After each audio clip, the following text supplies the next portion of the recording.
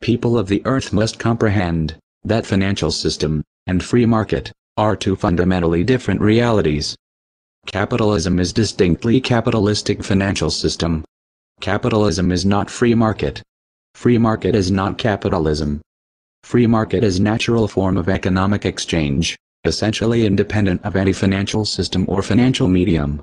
Capitalism is synthetic form of financial system designed for total society control by means of deeply subjective private financial cartel.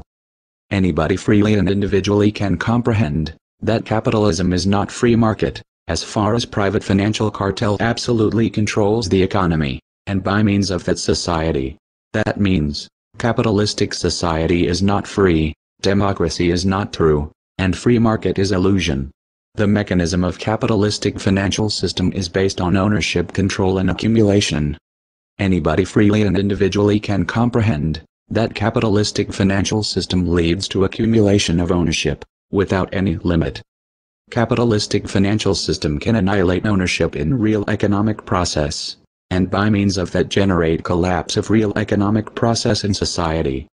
There is no sane reason to preserve capitalistic financial system, it is absolutely necessary to defend freedom, democracy, justice, ownership, free market and real economic process.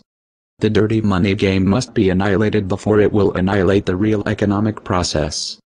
The real economic process will stabilize and will be efficient, because people have inherent natural cohesion, empathy, culture, history, intelligence, knowledge, wisdom, crafts, energy and free will. This change is much more than a dream. Wake up. Knowledge is power. Knowledge is free. We are anonymous. We are legion. We do not forgive. We do not forget. Expect us.